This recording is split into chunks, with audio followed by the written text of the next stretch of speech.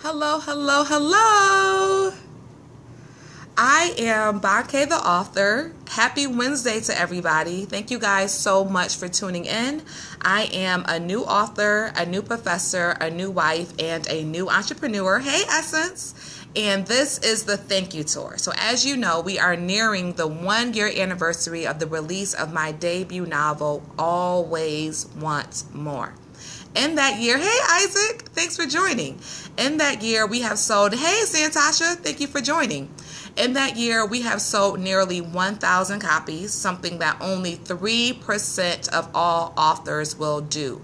Camo Cons, thank you so much for joining. And thank you, Bill. I'm trying to be like you when I grow up, Essence. So, I got to get right to it because I'm on a limited time frame. I have two interviews back to back today, but I am sharing the amazing, dynamic people who have poured into this project and have made its success possible. Shalon Wan, with all the numbers, thank you for joining. And so, uh, the purpose of this is to share the amazing village that I have around me. What you are seeing is not me, it is just a reflection of my faith, my city, and all of the people who have helped me. So, today we have one of my favorite students. She was in my class my first semester as a professor. She has prayed for me. She is a wonderful woman of God. I just had to let you guys meet Miss Sasha. Hello, hello everyone. So, can you please tell us what semester are you in now in your um, collegiate career? This is my fifth semester. Amazing. Um, very happy to still be here.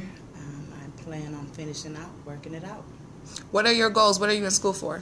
Human services is my major now. Um, started out as a psychology major, and that wasn't the direction that I wanted to go. Um. After a lot of praying and um, just believing that um, to counsel and help and and so I went into human services and I, am and I'm really enjoying it. Hmm.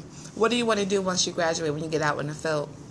Not really sure. I just left class and um, phenomenal speakers um, on HIV, people living with AIDS, and um, even though I'm, I'm not HIV positive or anything to that nature, but I know that I want to connect with people and be able to connect them with agencies where they can find the help. Mm-hmm. Um, I left there inspired to um, advocate for HIV and just to get tested, and um, it was very inspiring. So um, I'm looking for women um, that to empower each other, um, uh, young mothers, anywhere in that direction it's there's it, it's the spectrum is so broad.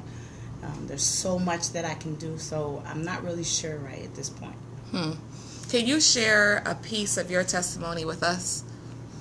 Okay, um, I'm a recovering addict um, of 11 years of crack cocaine. Um, let's see, I'm a mom of three beautiful children. Um, I have a wonderful husband and today I can say that um, had it not been for my past, I wouldn't be here in my future. I mm-hmm. wouldn't be here where I am. So everything that I've endured, um, when I was 10, I was sexually abused. Um, everything that has happened to me has, has brought me to this place, has brought me um, to a place such as is the one that I'm in. And I'm very grateful for this place. I'm mm-hmm. very grateful to be able to turn around and say, you know what, I survived all of that and I'm going to proceed on. Hmm. Thank you guys so much for joining. Thank you for the beautiful hearts and thank you for sharing this. Sasha has an amazing testimony, so please forgive me if I don't greet you all individually as you jump on, but I just need to let you guys hear her because um, I'm just let her keep talking. So, where you are now, what are all the different roles that you have right now in your life? So, you're a mother and a grandmother yes, and a, a wife. A mother, a grandmother, a wife, a caretaker to my eldest brother. Um, uh, I teach uh, Bible. I have a Bible study um, class that I teach in the summer. I'm a school bus driver. I'm a student, um, and I'm a worshiper. Um, I'm an interceder. Mm just a huge woman of faith. I believe in God and all that um, is wrapped into that. Um, I believe that I, I too one day will join my mother and grandmother and other family members that I have in heaven. Um, Um, so I just try to lead by example and just try. You know, I'm not perfect, nowhere close to. Um, you know, God is still working on me. but I just I encourage women um, that are married or getting married. Um, have a phenomenal husband, and and with him, we have built this life together. And I know that there are couples um, that we can encourage, and you know, because we've been through. And when I say we've been through, that's mm. just what I mean. You know, and and it's a maintenance, an everyday maintenance. Marriage is, you know, so it's just so much that I've experienced that I can touch on. I think God has has led me in a in a bunch of different areas to where there's not just one thing that I can focus on. There's again the spectrum is wide, and if I can help you, I will. If I can't, I'll just pray for you and keep it moving. Hmm. I'm gonna flip it for one second. Um, this is what I mean when I say that I learned so much from my students. Um, Sasha was in my class my first semester as an adjunct professor. I had a lot to learn. Um, I was also in the midst of preparing my novel to be released. So I was preparing for the book release. I was doing all of the editing. I also had satellite releases in DC, Richmond, Paris, Lagos. So there was a lot going on. And I can say um, it was a lot for me to balance. But when from the first day when I met this woman, I knew that God had placed her in my classroom. She is a leader. She is an awesome woman of faith. She is an amazing student. Like she's the type to go and beyond. Like she really pushes herself to excel. And so she set a beautiful example for all of my students. And then like she said, if she can help you, she will. So I'm going to flip it back to her so she can tell you guys the, the specific things she has done to help me with the always want more journey. You're not crying, are you? No, no. Oh, okay. Don't, don't, get soft on me. um, just encouraging. Um, you were already on well on your way to where you were going it's just encouraging, keeping you encouraged. And we're all going to get weary. We're all going to have days where, you know, we forget why we're doing whatever it is that we're doing. And, and God does. He places people in your life to help be an encouragement, to help you get to your next place. I mean, we're just one person away from our next um, blessing. And um, I, I, firmly believe that. And, mm-hmm. and just as I was inspiring you, I had no idea you know, it wasn't purposely, but you are um, forever will be someone who I can look up to and respect and admire. And I'm ever grateful for God placing us, you know, in the same strategic place um, yep. at this time.